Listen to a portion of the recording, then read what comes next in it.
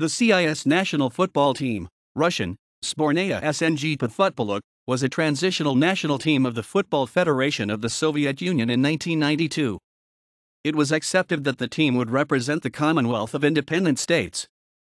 The CIS team was created to allow the Soviet national team further participation as it had already booked a spot in Euro 1992 through the 1990 91 qualification tournament.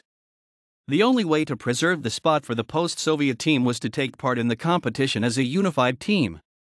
Players had an option either to play for the team or to play for a team of their country. With the end of Euro 1992, the Russian national team was recognized as the only successor of the CIS team.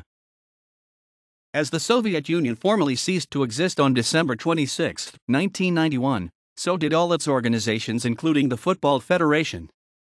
The Association of Football Federations of CIS was formed on January 11, 1992, and was approved by FIFA two days later. Beethoven's Symphony No. 9 was adopted as its anthem. Along with the association, national federations of its members started to form and apply for international recognition. The CIS national football team, previously known as the USSR national football team, completed its participation in the Euro 1992 in June 1992. It was disbanded soon thereafter, and all its results were transferred to the Russian national football team that played its first game in August 1992.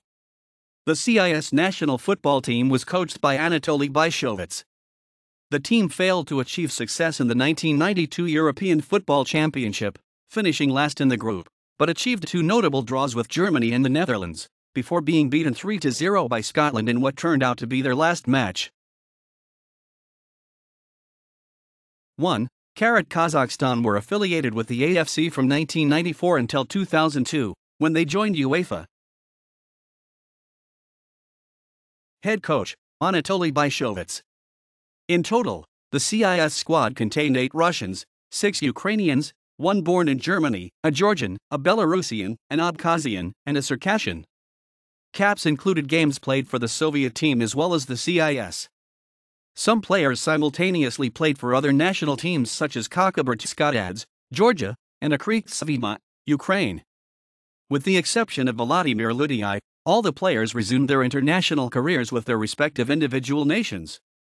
Russia qualified for the 1994 FIFA World Cup in the United States with the bulk of the Euro 1992 CIS squad, but due to the incident with the letter of 14ers in November 1993, Igor Shalimov, Igor Dobrovolsky, Igor Kolyvanov, Sergei Kiryakov, Vasily Kulkov, and Andrei Kanchelskis were excluded from the national team.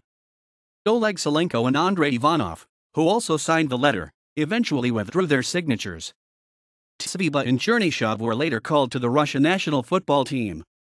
Although almost one third of the team were from Ukraine, only two Ukrainian players ever played for the Ukraine national football team, while another four chose to play for the Russian national team.